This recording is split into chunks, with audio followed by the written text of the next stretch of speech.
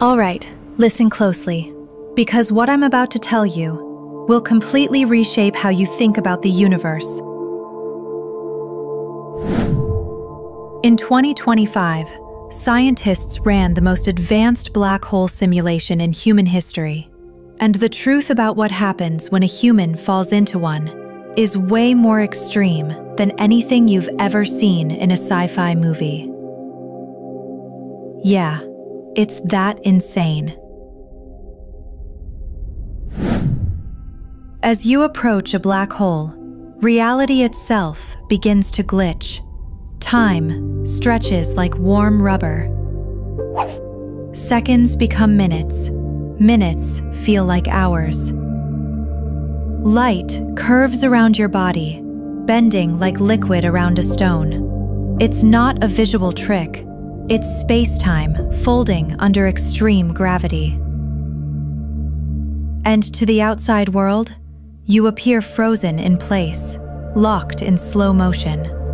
But inside your own perception, everything still feels normal.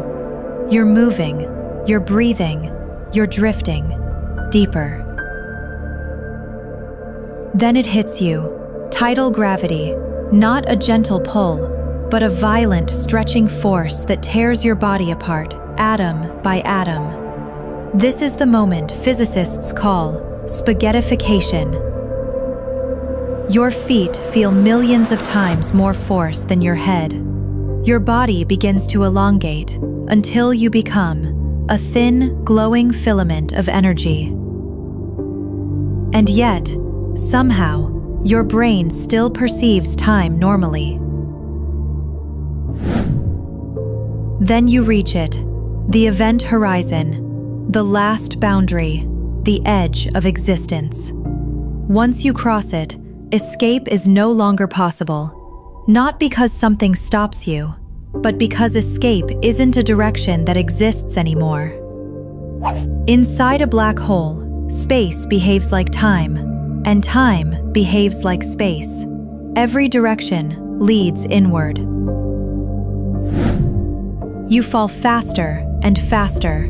Space around you stretches, then collapses. You're not moving through the universe anymore. The universe is moving around you. And ahead of you is the singularity, a point of infinite density where the laws of physics break down completely. But here's the twist the part science is still wrestling with. You don't disappear. Your information, your quantum blueprint, doesn't vanish at the singularity. It becomes encoded on the event horizon, like a cosmic storage drive preserving your final imprint. You don't get destroyed, you get transformed into pure information.